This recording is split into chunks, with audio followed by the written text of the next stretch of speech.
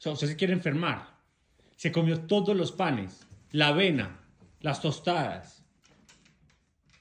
Después del regaño, después de que él ve que a mí me toca recoger todo el desastre que él hace, que es como si se hubiera entrado aquí a la casa, como si hubiera habido un terremoto o, o un huracán.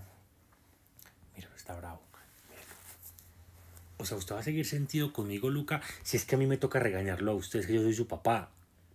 Yo no puedo pretender que usted haga en la casa lo que a usted se le da la gana y daños. Que es que yo dijera que es que lo encontré con los juguetes, no pasa nada, Luca, me sacaste toda la basura.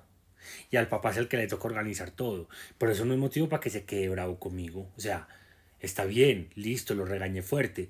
Pero usted tiene que entender que es que yo tengo la razón. Porque es que el, el- eh, usted hizo un daño. Luca, míreme. Míreme. Luca, usted hizo un daño.